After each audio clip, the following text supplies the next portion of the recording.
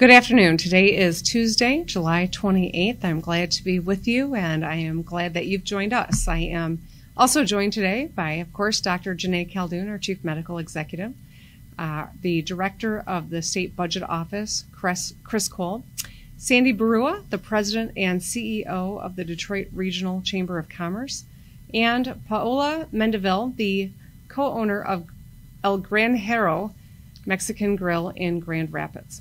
I also was wearing a mask when I started that says vote because we have an election in one week. And if you've got an absentee ballot, I encourage you to throw it in the mail today or tomorrow to make sure that your vote gets counted. And if you haven't yet voted, go online and figure out how to do that safely. In Michigan, we have spent more than four months fighting back hard against COVID 19 and the pandemic that has ravaged the globe. People across the state have made unprecedented sacrifices throughout the crisis. We know that Michiganders have missed funerals and weddings and graduations and births and birthday parties. And I've always said that the greatest thing about being a Michigander is the people who call our state home. Celebrating and spending time with our families and our friends and our loved ones. It's in our blood. It's who we are. It's what makes life life. And whether it's over a beer at our favorite restaurant, or at the sandbar on a lake, or in church on Sunday. That's how we define our big life moments and our happiest moments. And yet, this virus has forced us all to put aside those traditions for the greater good. The vast majority of Michiganders have done just that. You've stayed safe at home. You've worn a mask when you've gone out in public. You've maintained six feet of social distancing. In the past, we have proven that when we work together, we can push these numbers down and we can save thousands of lives. But what we know too is that this virus is still very real. It is still very present, and we cannot let up for one second. Because while we've continued to keep the number of deaths in Michigan low over the past several weeks, our case numbers have continued to increase since June. So, We've got to all double down and do our part right now. Please wear your mask, maintain physical distancing, and get tested. As I said, the vast majority of Michiganders have been doing their part to fight this virus. As a state, we've done tremendous work together. And if you look at the national news, you see that there are states that are in a terrible crisis where we were months ago. But if we're going to continue to beat back this virus and help our state recover, we need more help and leadership at the federal level. Last week, I called on the president to issue a federal mask mandate because when more Americans wear a mask in public, we can save lives and put ourselves in a better position to send our kids back to school this fall. Governors of both parties in at least half of the states have issued mask orders to protect their residents. I think of Ivey in Alabama, who's required everyone to wear a mask in indoor spaces, very similar to what we have done here in Michigan. Wearing a mask has been proven to reduce the spread of COVID 19 by 70%. Modeling from the University of Washington indicates that more than 40,000 lives, 40,000 American lives, would be spared nationwide if 95% of us wore a mask. And last Monday, the president tweeted that it's patriotic to wear a face mask when you can't socially distance. I applaud his statement and urge him to embrace a nationwide mask order. Back up that statement and let's take action. We need to require masks on public transport, indoors and outdoors, when six feet of distance can't be maintained. We have a chance to save tens of thousands of American lives. I'm hopeful that we will seize this opportunity. A federal mask mandate would be a great start. But we also need a strong recovery plan from the federal government to help our small businesses, our owners, the first responders, our state government, our local government, so that we can all recover from this. Yesterday, the President and Senate Majority Leader Mitch McConnell released a plan that fails to support states and communities as we continue to respond to this crisis. Their plan does not give the adequate relief to millions of hardworking Americans who've lost their job as a result of the mishandling of this crisis. And last week, 1.4 million people across the U.S. filed initial unemployment claims. That's the first increase since April. And yet, the proposal that just came out of Washington would reduce pandemic related unemployment benefits that have been a lifeline for so many people, including 1.1 people in our state who are relying on that $600 federal supplement to make ends meet before it expires. Making matters worse, the U.S. Senate leader and the White House are also proposing to move to a complicated benefits system that would create an already overburdened state unemployment agency, would give them more work to do in terms of months that it would take to implement. And that means families who are already struggling would struggle for longer waiting on the help that they need. Our working families can't go can't go that long without this important economic lifeline. So, the proposal that came out of DC yesterday ties critical funding to our schools, critical funding to, for the education of our kids to reopening plans and makes it contingent on that. Here's what we know about education. We can't, we got to continue to follow the science. And we can't move unless we know it's going to be safe to do that. The Michigan Safe Schools Plan that I announced last month requires districts to put together plans for three different phases of the My Safe Start. I want to thank our parents and local health experts, management, and labor leaders in our schools they're playing a vital role in this process, and parents everywhere, I hope that you are engaged as well. We've got to show respect for one another and cooperation. That's how we're going to get through this together. In April, the United States Senate leader McConnell said that he'd rather see states declare bankruptcy than to give us the federal support that we need. And while the tune has changed a bit in recent days, I can tell you that the plan they put on the table does not accomplish the goal of helping states. And I implore everyone in Washington, D.C. to stop the partisanship and get something done. I have been spending a little bit of time writing some remarks for a memorial for Governor Milliken. And it just strikes me that in this moment, it's more important than ever that we have leaders that are not going to be tethered to political parties, but are going to be tethered to getting this done for the people of this country. Because COVID 19 doesn't stop at a state border, it doesn't observe party lines, this is an insidious virus that has hurt us all and damaged our economy. So, what we need is the U.S. Senate to come to the table ready to negotiate with the House. The House has shown leadership in the HEROES package that would dramatically improve our ability to support our front, frontline workers, to expand access to health care, to help our local uh, municipalities do the important work of tracing um, and and gives us the kind of support that we need to educate our kids in a safe manner. Now I know how this works. The Senate's got to put their print on it. Well, they got to come to the table and get this done and get it done now. Michigan is not the only state calling on them. We need them as Americans to deliver for us all. We're grateful for the leadership of the U.S. House and hopeful that the Senate will come ready to get serious and negotiate and that the president will sign something quickly. The COVID 19 pandemic has required sacrifice and leadership. It has demanded that we all work together to protect each other. Michiganders are doing their part. We're showing the rest of the country what it looks like to work together against this crisis. In Michigan and states across the country, we need the Trump administration and our federal representatives to get this done. As I've said, every one of us, doesn't matter what party you're in, Every one of us has to be a part of making sure that this country navigates the pandemic and comes out stronger. That's what we need right now more than anything. I'll continue to do my part, working with my fellow governors on both sides of the aisle, calling on Washington to deliver for everyone in this state and beyond our borders. And I'm hopeful that Michiganders will continue to do your part. Mask up, take care, look out for one another, and show one another a little bit of grace. These are trying times. We will get through this together if every one of us does our part. And with that, I will hand it over to our Chief Medical Executive, Dr. Joneigh Khaldun. Thank you, Governor.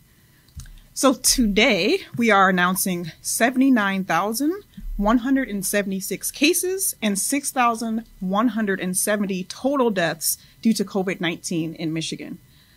Overall, for the past two weeks, we've seen a plateau in the number of daily new cases. We continue, as the governor said, to see low levels of deaths and hospitalization rates remain steady. These are both very good signs. The rate of new cases, however, continues to vary by region. The Detroit, Grand Rapids, and Saginaw regions all have a little over 40 cases per million people per day. The good news is that the Grand Rapids region has seen a two week steady decline in the rate of new cases, and today we will be able to move them out of the high risk category. The Kalamazoo and Lansing regions have over 30 cases per million people per day, but they have seen a recent decrease in cases as well. The Jackson region has just under 30 cases per million people per day, although this area has actually seen a continued slow increase in the case rate for the past six weeks. The Upper Peninsula and Traverse City areas are seeing under 20 cases per million people per day as well. So each region of the state, also, this is good news, is now meeting the goal for testing in their region, which is a good sign. Combined, over the past week, we've tested an average of 27,000 people per day, and that's 5,000 more people than the previous week. However, we continue to see the percent of tests done that are positive slowly creeping up. And last week, that was about 3.7%, up from 3.6% the previous week. As I've said before, 3% is the cutoff that many experts say you want to be under to know that you're not having community spread of disease. And while we're not as high as some other states across the country are that are seeing a significant surge, this is something that we definitely want to continue to monitor. When there's increased testing and the percent of tests that are positive goes up, it indicates that there may be community spread going on. I also want to spend a little time talking about what we are seeing with outbreaks across the state. So last week alone, there were 78 new outbreaks identified by our local health departments and I'm going to break those down for you. 31% of those outbreaks were associated with nursing homes or other adult care facilities. 22% of those were associated with social gatherings. 10% were associated with workplaces, and another 9% were associated with restaurants. Other places where we are finding outbreaks include childcare, agricultural work settings, bars, personal care services, and gyms. And there are still times, and this is important, when the local health department is unable to identify where a person may have gotten the disease from. Local health departments last week were able to identify a source of infection for about 32% of the new cases that occurred, meaning we don't know where about 68% of cases were exposed. This means it continues to be incredibly important for people to do the basics wear your mask, wash your hands, and maintain six feet of distance away from others as much as possible. There's still many new outbreaks that we're identifying every week, and there's evidence that there is spread in the community. And we also know that people can spread the disease even when they do not have any symptoms. I also want to continue to em- emphasize that we uh, you must make sure that you're getting tested. Uh, anyone who's working outside of the house, anyone who's been exposed or has symptoms of COVID 19 should get a test. You can still go to our website, www.michigan.gov forward slash coronavirus test, or you can call 211 and they can help you find a testing site as well. We've also talked a lot about case investigation and contact tracing. So once the state receives a positive test result, state and local public health staff are reaching out to about 90% of those people who tested positive within 48 hours. However, we're still only able to complete that initial interview of those positive cases about two thirds of the time, mostly due to people having wrong contact information or not answering the phone. Our preliminary data is also showing us that about a third of people who test positive are already in quarantine at the time that we contact them. This is an important metric that we will continue to monitor. The more people know that they've been exposed and are in quarantine before they have a positive test resulted, the more we will be able to box in the disease. This is why contact tracing work is so very important. However, as I mentioned, we're still having challenges with people not answering the phone, wrong contact information that were received at the time they got the test, and people not wanting to give us information about their close contacts. So MDHHS is actively working to build out the infrastructure to be able to support this active work. As part of that, we've actually given our local health departments $10 million to hire additional people to do this contact tracing work. And yesterday, we announced a new text messaging platform. Our public health staff will now be able to easily send you a text message to your phone if you were potentially exposed and you could be expecting a, a call. The most important thing we need everyone to do is answer their phone when public health staff attempt to call you. And I know that sometimes people do not pick up their phone if they see a number that they don't recognize, but this additional text messaging platform will allow you to know that there's a call that will be coming from a public health staff. I want to continue to emphasize we won't ask for any bank information or social security numbers, but please do share information about who you may have been in contact with. So I know 2020 has been an incredibly challenging year for everyone, but if we are patient if we do what we are supposed to do, we can beat this disease. That means that if you are sick, get a test and stay home. If you've been exposed, get a test and stay home. Wear a mask at all times if you're going to be out in public. Maintain six feet of space between yourself and others as much as possible. Wash your hands frequently and answer the phone if a public health staff person calls you. These simple measures will slow the spread of the disease and they will save lives. And with that, I will turn it over to our State Budget Director, Chris Kolb.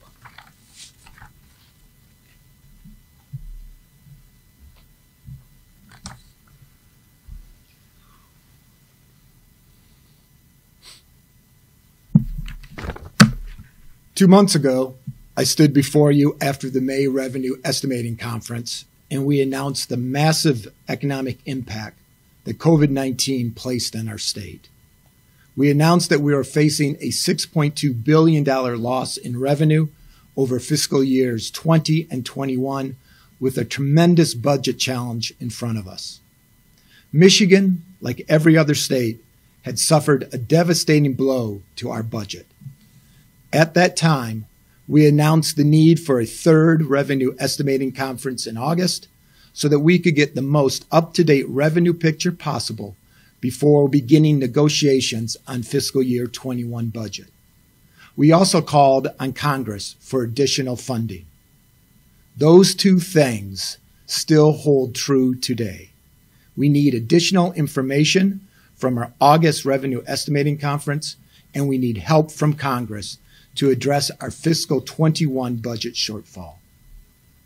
Having said that, a lot has happened over the last two months. By working with the legislature, we have managed to address the budget shortfall for the current fiscal year. I truly appreciate my working relationship I have with the appropriations chairs, Representative Hernandez and State Senator Jim Stamas. And I'm pleased that we are able to resolve the budget for the current fiscal year, and we are able to do it and still protect key priorities like our schools, healthcare, public safety, support for local governments, and critical state services.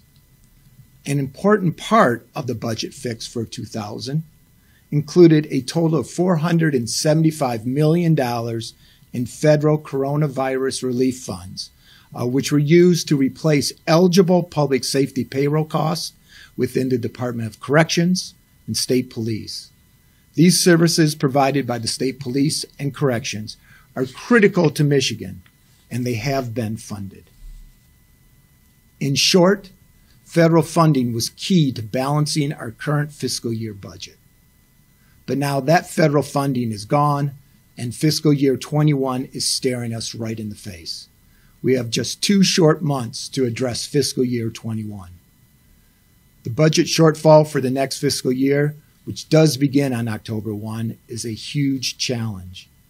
We know that the shortfall, uh, again, will be in the billions of dollars.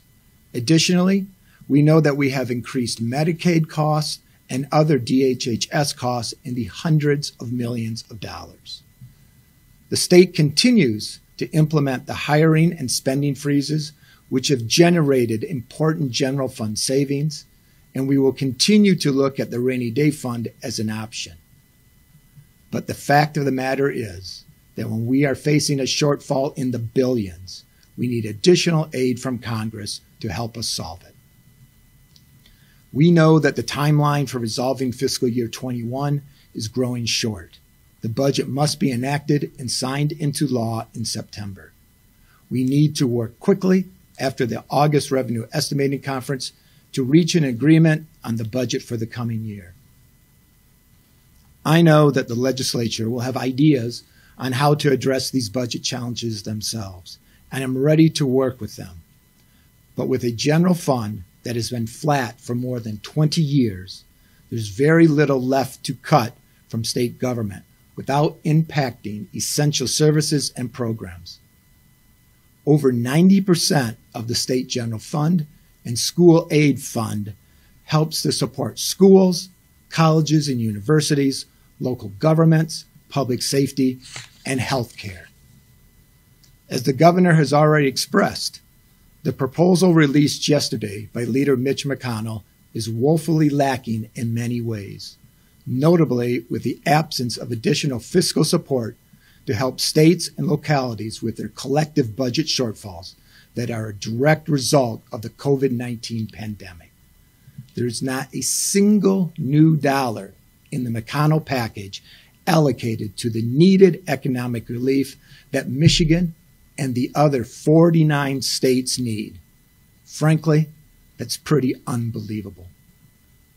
Under the current revenue projections for May, next year our budget forecast is to be hit by another large shortfall, estimated at more than $3 billion.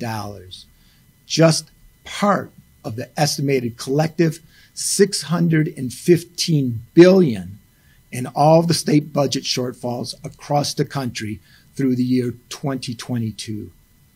One of the most effective steps to help states would be to provide substantial federal aid to address these huge revenue shortfalls, just like the House passed HEROES Act would do. The HEROES Act would allocate over $13 billion to our state in direct support over the next two years.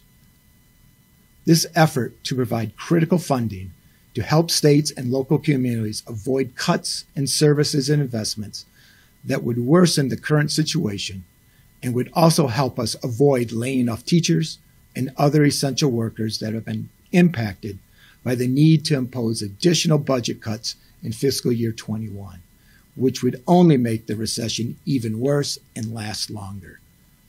In recent testimony before Congress, the Federal Reserve Chair, Jerome Powell, noted that it would hold back the economy if states and local governments lay people off and cut essential services.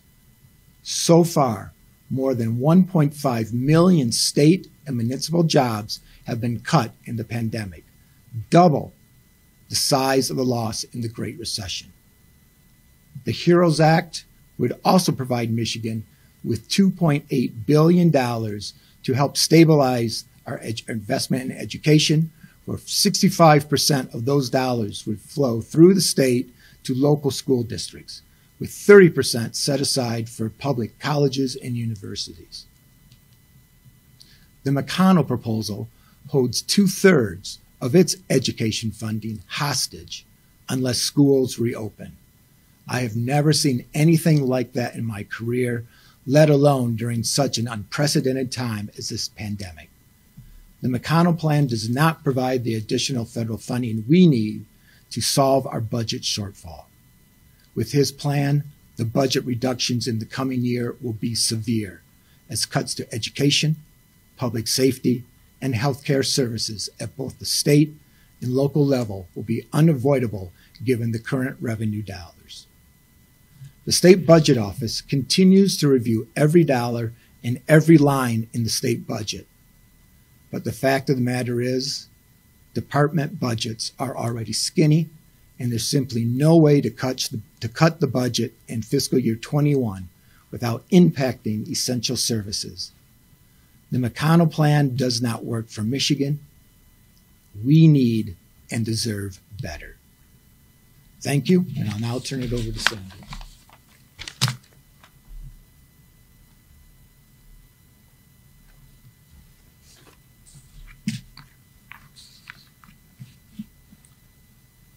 Governor, thank you for your public service and your public leadership Uh, we're all building this plane as we fly it, and we appreciate that you're both our chief pilot and our chief mechanic. Good afternoon, everyone. I'm Sandy Baruah with the Detroit Regional Chamber. The COVID health crisis has created an economic crisis we all now know far too well. But this crisis is not just limited to our businesses and to our family finances.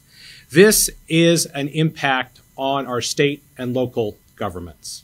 Governments are bearing the brunt, the direct brunt of addressing COVID related costs as well as reduced tax revenues. Our state and local governments are strapped for resources and will be further strapped for resources as this crisis continues, just when our citizens need it the most. This is why every major business organization in the state, 15 in total, including the Detroit Regional Chamber, Michigan Chamber of Commerce, Business Leaders for Michigan, Michigan Manufacturers Association, Small Business Association of Michigan, Grand Rapids Chamber, and business groups representing every corner of Michigan have signed on to a joint letter to Michigan's congressional delegation urging chiefly that the upcoming CARES Act legislation that is being discussed as we speak include assistance to state and local governments to help states like Michigan address the needs of people and businesses as this COVID crisis continues. This is not a political or a regional perspective. These 15 business associations represent virtually every business in every corner of the state. This position that the pending CARES Act legislation must include aid to state and local governments is echoed by the U.S. Chamber of Commerce. The budget director referred to the chairman of the Federal Reserve Bank. I have the honor of serving on the Federal Reserve Bank board here, and I too will quote Chairman Powell. The record shows that deeper and longer recessions can leave behind lasting damage to the productive capacity of the economy. He goes on, Additional fiscal support could be costly, but worth it if it helps avoid long-term damage and leaves us with a stronger economy. Chairman Powell has been consistent in this regard. The seriousness of this crisis needs to be met with an equally serious response. Businesses and their employees across Michigan should urge their member of Congress to support federal assistance to Michigan so our state and local governments can help our fellow Michiganders when they need it the most, and our schools can have the resources that they need to address the needs of their students. And the other thing that all Michiganders can do to help their local businesses and help their local economy is exceptionally simple. Mask up, Michigan. Wearing a face mask is the easiest thing you can do to keep your local business open. Your local Mexican restaurant, your local hardware store, antique store, dress shop, or even Ford dealer.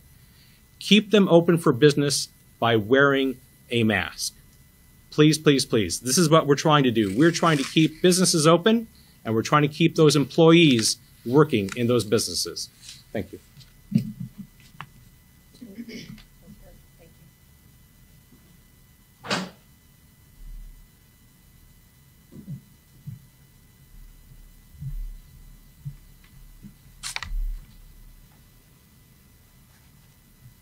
Buenas tardes. My name is Paola Mendeville. I am catering coordinator for my family business, El Granjero Mexican Grill. Since 2007, we strive to provide authentic Mexican dishes in the Grand Rapids area. When we opened our business 12 years ago, we went through a difficult economic stage in our country going into recession. But even then, we have never seen the damage that this crisis has done to our small business community in the nation, in the world. Even through the stage of recovery, we have seen the disparities uh, because of the decisions that our federal government is making. Small businesses are the heart of the economy, not only locally, but globally. And there is not denying small businesses owners have suffered major setbacks because of this crisis. We are one of those Since March 16, we closed our dining room, and that resulted in 75% decrease in our sales. Our catering business is completely paralyzed because of all the events postponed and canceled because of the right reasons. We have seen a decrease in our employees as well, and that's affecting their families too. But even through these challenging times, we need to see uh, we are inspired by the hard work and collaboration of several small businesses, specifically in the restaurant industry. We, a small group of business owners, came up with a uh, Michigan promise or Michigan restaurant promise idea where we want to commit to the safe and healthy not only of our customers but our families and we want to also keep each other accountable by uh, following the guidelines so a shout out to all those small business owners that started that and now hundreds of other restaurants have joined the cause and we also on behalf of the restaurant uh, community in Grand Rapids, we want to thank Governor Whitmer and the MEDC team for their hard work and leadership in this crisis uh, by securing small business loans that are going to help our business continue to service, uh, to provide services to our communities. Very important. Earlier this month, the MEDC announced that at least 30% of the uh, of the Michigan Small Business Recovery Funds will be awarded to women owned and minority owned businesses because everybody's going through difficult times. But small businesses around Michigan uh, are more impacted, especially the woman owned and minority owned segment. I can attest to those disparities. I know of several Grand Rapids business owners that have their PPP application denied, just like ours. And we need the support also from the MEDC because it's crucial for our businesses to continue to provide services in our communities. We still need more support and federal and funds from the federal government to work together to secure our businesses to continue to be open. That's why I'm urging today our Congress and our president to put aside the political infighting and aspects um, to work quickly and pass a recovery act that will help businesses move forward in our area. The U.S. House of Representatives passed the HEROES Act in May, so it's been a few more weeks now, and the HEROES Act will help small business owners and families across the country. That's the type of leadership that we need at the federal government or, or level. This isn't just about businesses. It's about protecting our families and our communities.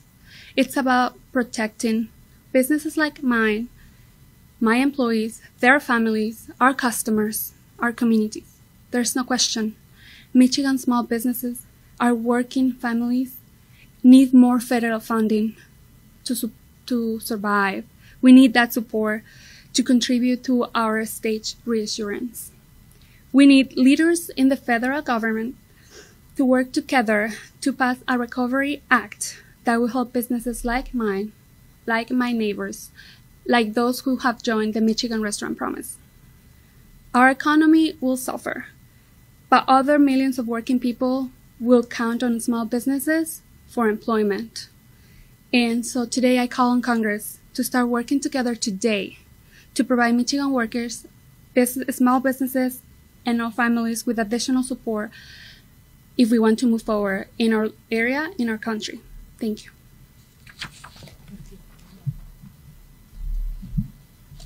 Thank you, Paula. Thank you, Sandy and Chris and Dr. J. With that, we'd be happy to open it up for a few questions. I know we don't have a ton of time today, but. Governor, um, this is the the broader question of you talked about how getting children back in school in the fall is sort of the, the target that the state is looking at.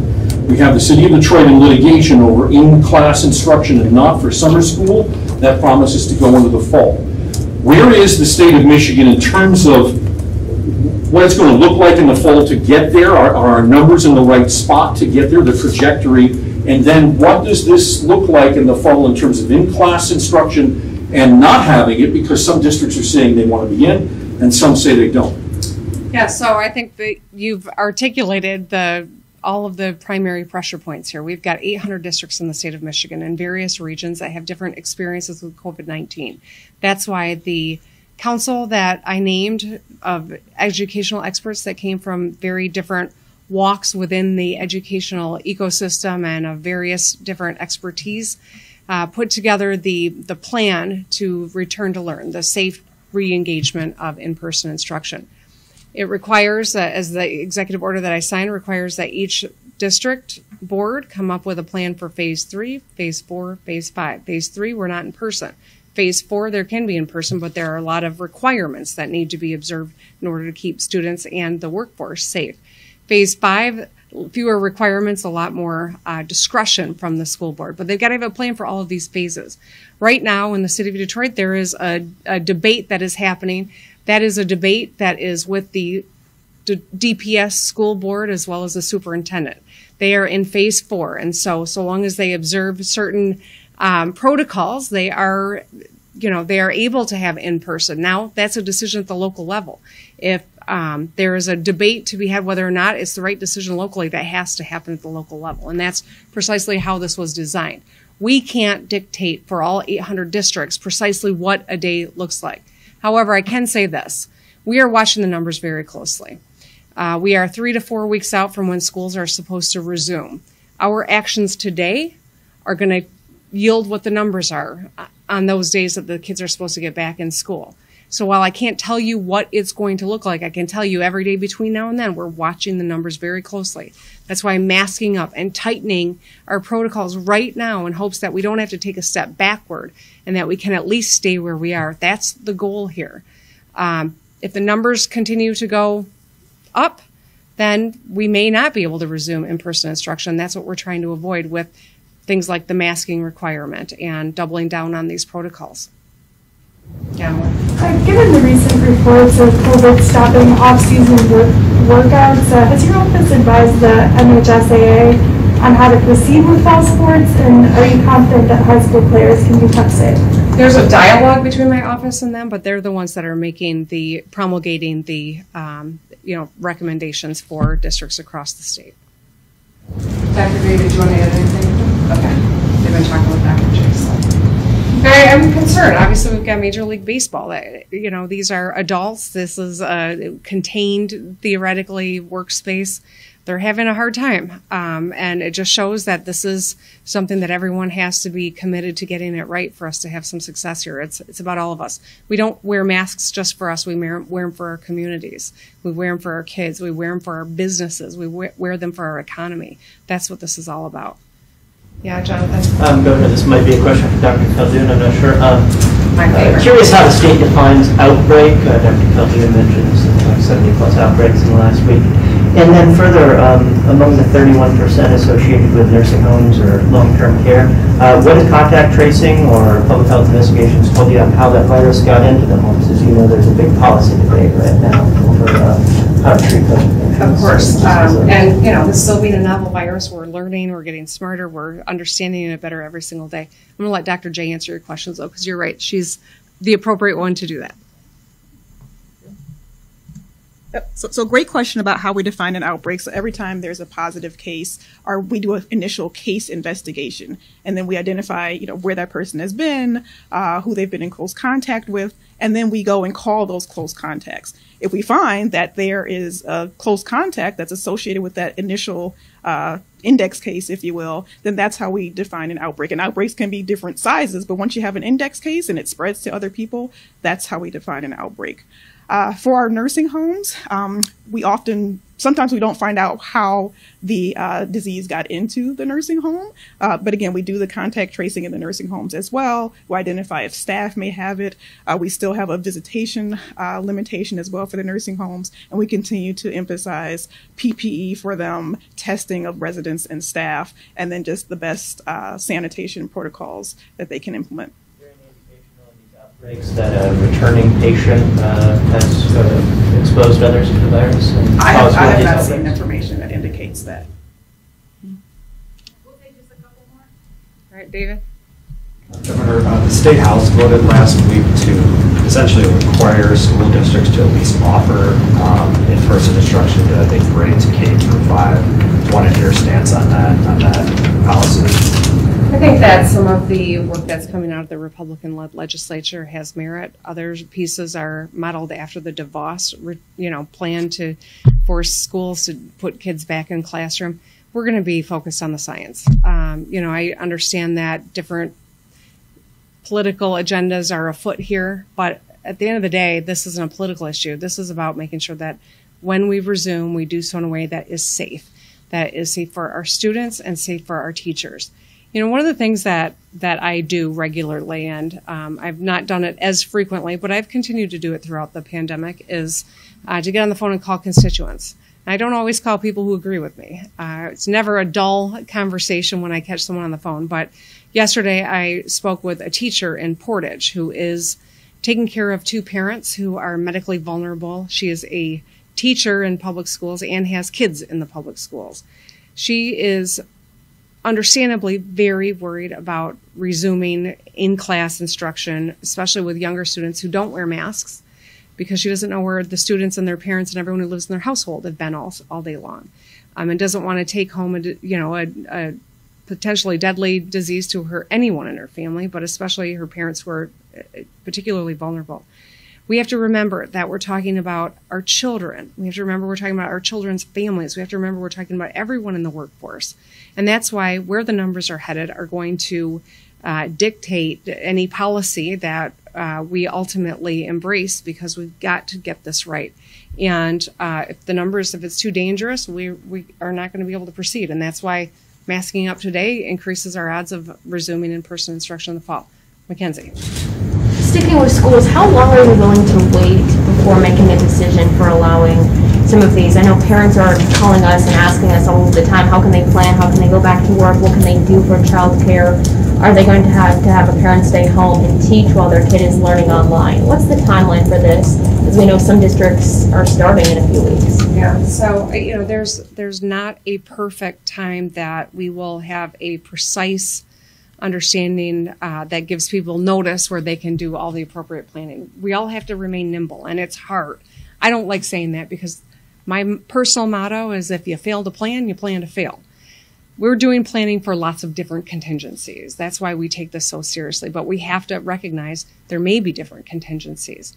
It all depends on the saturation of COVID 19 cases across our state whether or not we are able to identify a nexus and do the tracing and do the isolation, or if we have rampant community spread. If we're if we look like Florida, it would be inadvisable for us to resume school, much less continue all of the different pieces of our economy that we've reengaged. We're trying to avoid that. We've had a lot of success in that. We have to keep doing what we know to be the right thing, and then we can have a lot more confidence. It'll be safe to to reengage. So, what is the the timeline? I mean, in a couple weeks from now, we'll know what actions today yield in terms of COVID cases. A couple weeks after that, we'll see what it means in terms of hospitalizations. That's the lagging indicators of this particular type of virus. And so, what we know is if we if we do this simple act, we're going to put ourselves in a much stronger position, uh, economically speaking. Um, health, speaking of course, the health and safety of our residents is paramount but also in terms of giving parents and, and workplaces the confidence that their kids are going to be safe to return to school.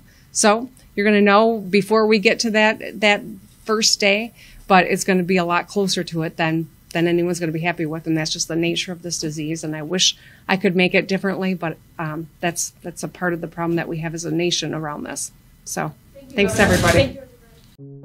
在这个必须保持社交距离的时候，我们可以一起做一件事。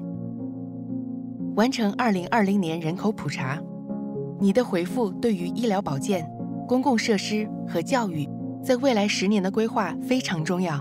现在上二零二零 census.gov，花几分钟时间便可以带来改变。为了你的社区和开展美国的未来，即刻上二零二零 census.gov/slash languages 回复人口普查。